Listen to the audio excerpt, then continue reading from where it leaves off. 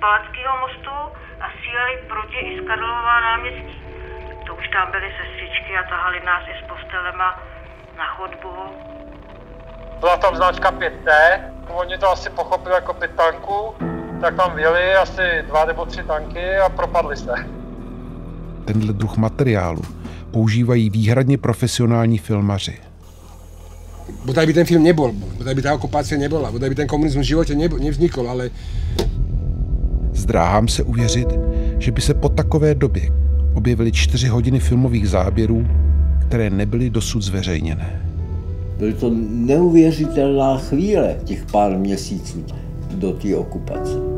V té době ten vztah toho náhoda byl tak až kýčovitě sentimentální vzhledem k tomu Dobčekovi. No a pak mě něco zastavilo. A jak padal naprosto bez hlesu, tak ten prapor padnul na něj, proto byl tak zakrvácený.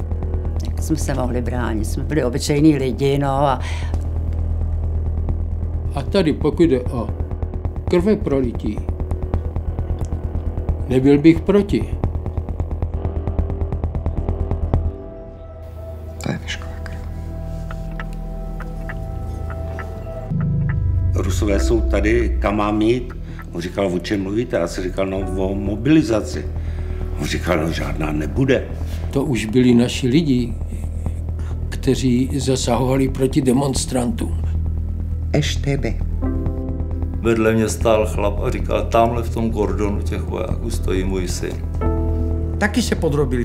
Po 68. roku za 6 dnů, za 10 dnů byl klid. To byl konec, to, to byl moment, kdy jsem si uvědomil, že je opravdu konec.